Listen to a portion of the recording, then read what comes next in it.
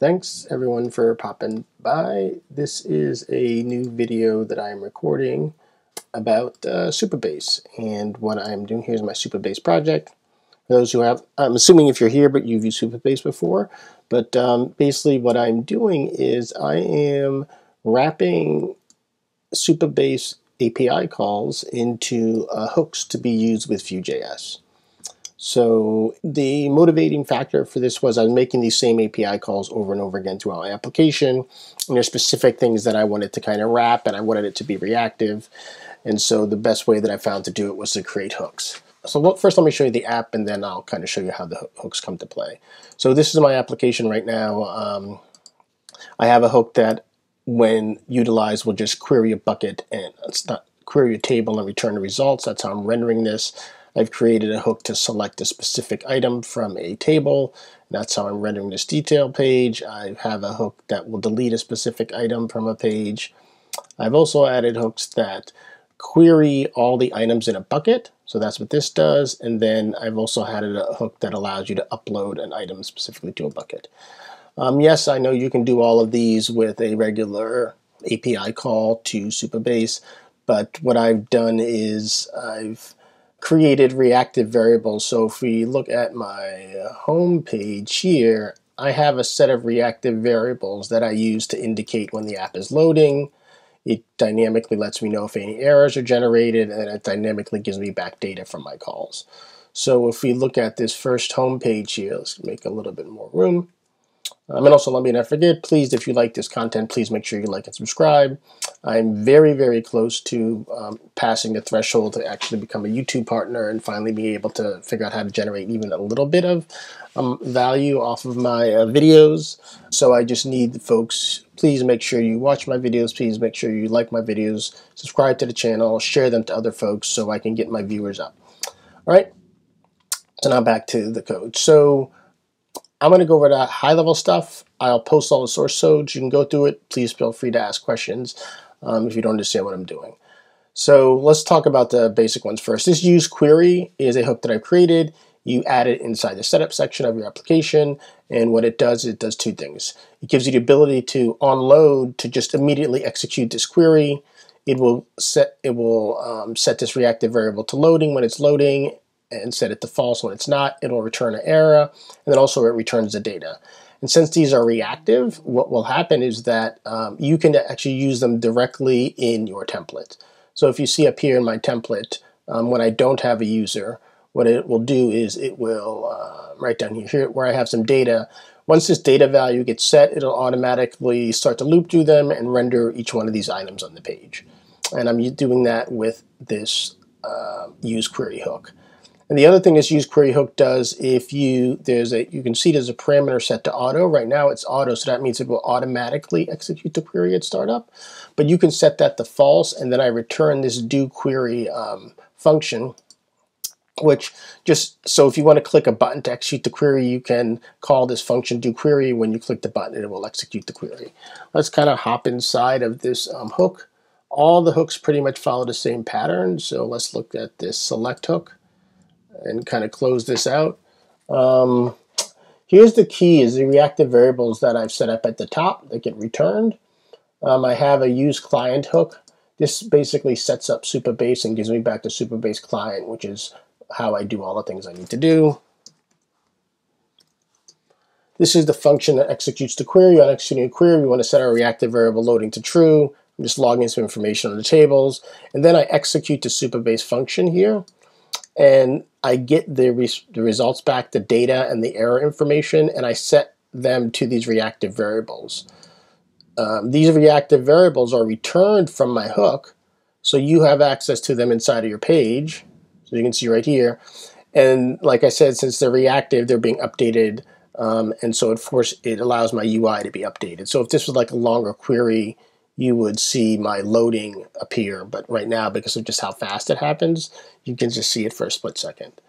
Um, so that's my um, select query. Let's take a quick look at the use auth query.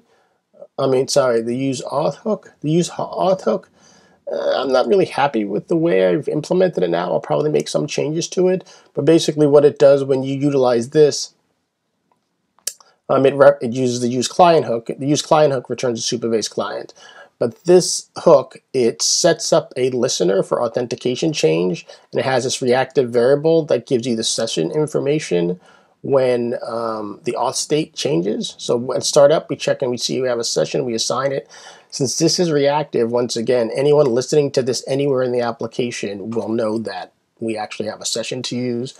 And then I just return these functions. This is the stuff that I think I need to change and make a little bit cleaner, but it works for now. So that's my auth hook. Let's close out my auth hook.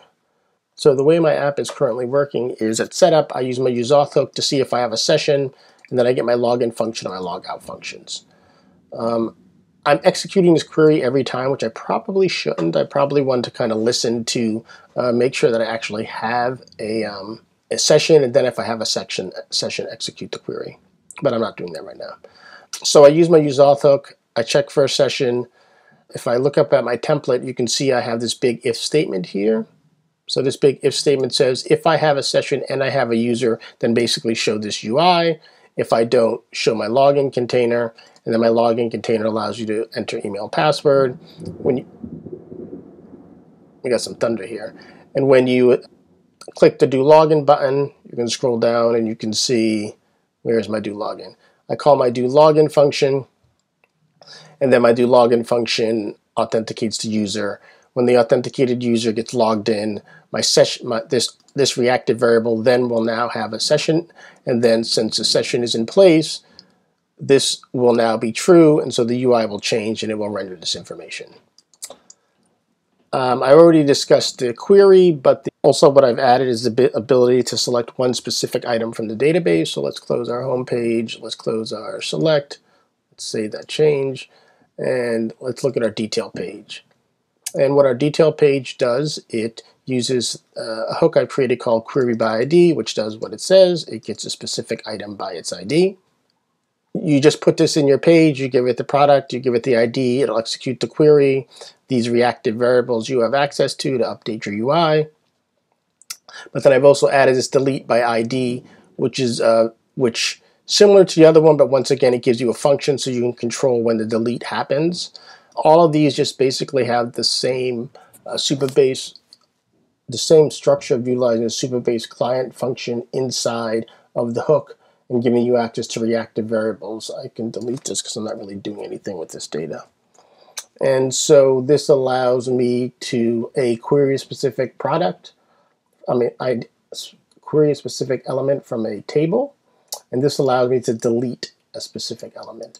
And if you look on the do, delete, you pass in the table and the ID, and then um, since it's part of this hook, I have I have these reactive variables, so it's it lets me know when delete is loading, it lets me know, know if I get a delete error, and I can what am I doing? Down here you can see I'm setting my loading and my error based on those values, so you can utilize them to kind of up update your UI to indicate when you're loading or if you've got an error that happened. And so that's the select one and the delete one. And then kind of the last one that I have here is this um, add is this set of add image um, hooks. So let's go to the add image page. And so I'm using this select bucket, which gives you a list of all of the objects in a bucket. And then I have a upload um, hook. So you can see, let's look at the select one first. So just use select bucket, pass in a bucket, you pass in a path. Similar to the other select, you pass in an auto or not, so it controls whether or not you want it to automatically execute, which I have set to true, or if you set it to false, it gives you, it returns this do query function, and you can call it do query function when you, when you need to, to kind of query all of the uh, items in the bucket. And then the other one I add is this use upload. And what you do is you, you uh, excuse me, to, to set up the hook, you pass it a specific bucket, and then you can also pass it a default set of options. These options come from Supabase. Um, but then it also gives you this do upload function. And what the do upload does is you can pass it a blob or a path to a um, image, and then you give it a file name. And then the function is smart enough to, let's go back to my do upload hook. So what this hook does is it this hook will take a look and it will determine if the blob is a string. If it's a string, it'll attempt to do a fetch and convert it to a blob. Otherwise, it just takes the blob as is, passes it through, and calls a supabase function. Once again, you can see I'm taking additional options that you can pass in if you want to overwrite the default set. And as usual, since these are reactive variables, um, they can um, you can get the updates to your UI. So let's just quickly walk through this one. I can choose a file is subscribe ping. It's pretty obvious. And that got uploaded right now. I'm not kind of reloading the page and upload. So if I kind of refresh, and where did it go? You can see my subscribe image got uploaded to Supabase. And then we got a list of it. So like I said, this is just a quick overview of them. Um, all the source code will be updated. This is a pretty cool project to implement. I'm certain I'll get to use this in other projects. Please be sure to give me your feedback and your thoughts. Uh, make sure you like and subscribe, and I will talk to you next time. Bye.